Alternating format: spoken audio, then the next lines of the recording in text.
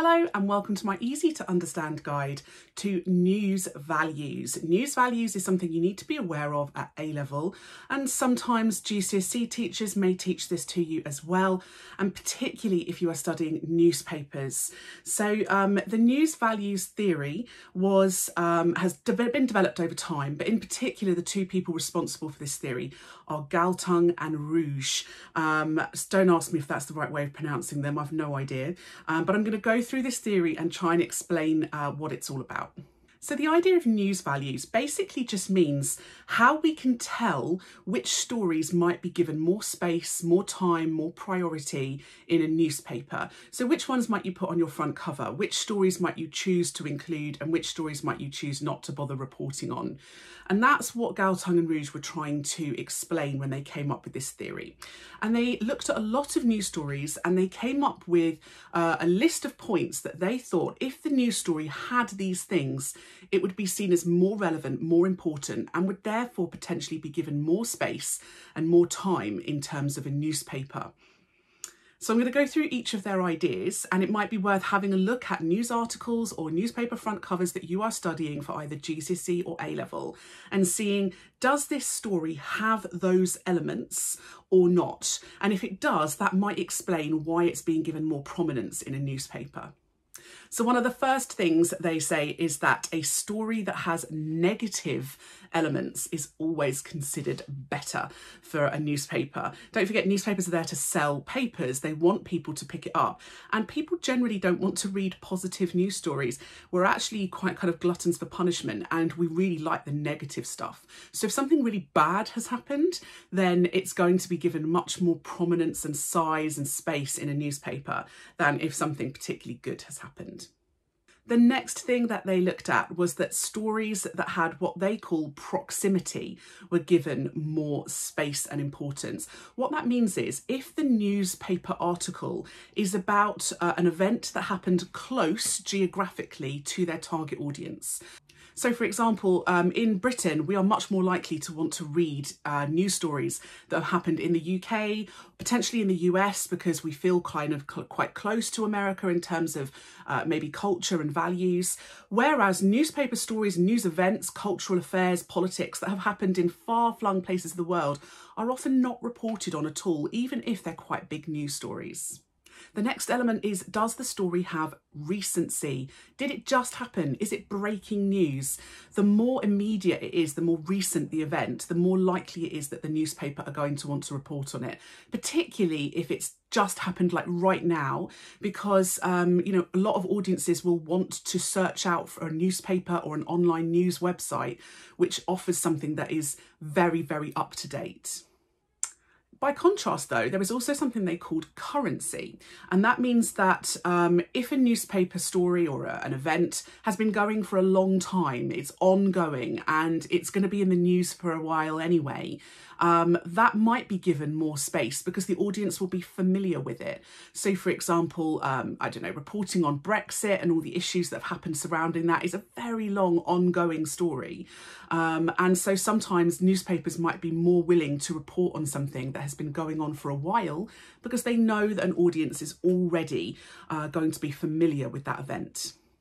Very similarly is the idea of continuity, and that is if an event happens that they know will go on for a long time. So if something happened tomorrow, um, for example, like a terrorist attack, um, they know that that story will give them lots of stories that they can write about over the oncoming weeks. They will be able to interview victims, they'll be able to talk to police officers, there might be a trial, you know, so there'll be lots of things that they can use out of that story, which sounds very pessimistic, but unfortunately that's what newspapers are about.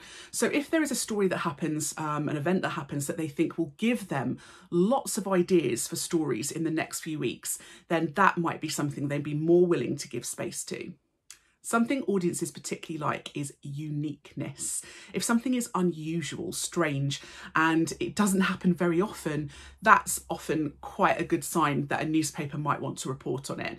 So, um, you know, a, a dog biting a man might not be particularly unusual, but if, for example, there was a story about a man biting a dog, that might be seen as very strange, unusual, unique, and therefore a newspaper might be more willing to report on it. So have a look and see if any of your newspaper articles are particularly strange or odd. If a story is very simple and easy to understand, newspapers will often give it a little bit more space. Audiences in general, we don't really understand complex issues. Mainstream audiences don't really understand complex politics or finance and I'm talking about a general mainstream audience. And so um, often newspapers will report on very simple stories. So if there's a really easy to understand story in your paper, it's probably been chosen because they're trying to engage their audiences who might be put off by more complex events. Something newspapers also really like is this idea of a personal interest, a human interest, a personal angle to a story. So if there is a story that perhaps might seem a little bit more complex, but they can make it about an individual person, that really helps to sell the story and make it more interesting. So if we're just talking about gas prices rising and people not being able to afford to heat their homes or to, um, you know, cook their food over winter, um, it might not be considered a particularly interesting story. But if they can interview 95 year old Doris, who looks very sad about the fact that she's not going to be able to afford to heat her home and she sat there with a kind of blanket on shivering, that makes it a much more interesting story because we're hearing Doris's personal angle, personal take on this a bit more kind of boring story. So um, personal interest stories where they can kind of reach out to an individual and get a kind of more emotional take on something might be seen as more important for a newspaper.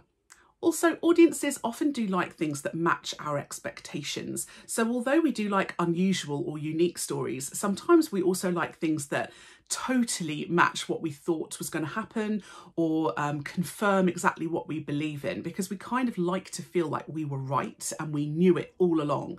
So anything expected um, is always quite good for a newspaper.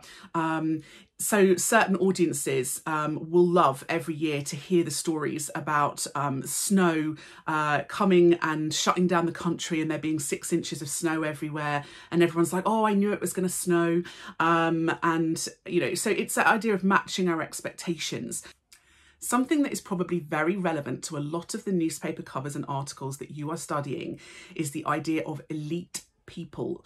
Now, that basically means celebrities or recognizable people. It doesn't have to be actors or singers. It could be politicians, you know, people in positions of power in the country, somebody that you, the audience might recognise. Any story that involves a celebrity or an important person is going to be considered more important than a story involving a normal person. Um, and that is because we just generally are more interested in the lives of celebrity people or famous people. So have a look at your newspaper articles. Do they contain any celebrities?